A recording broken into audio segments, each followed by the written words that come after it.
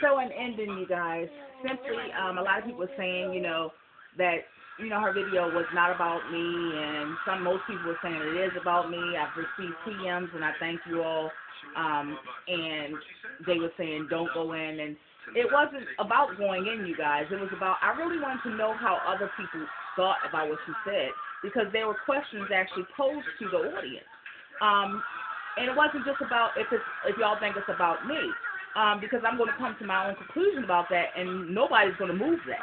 Um, but I simply wanted to know what you all thought about what she said, because I think that YouTubers often you can watch a video, but in a way, mind your own business, you know, and it's not about just being held accountable because nobody but God can hold me accountable. I just simply share my life.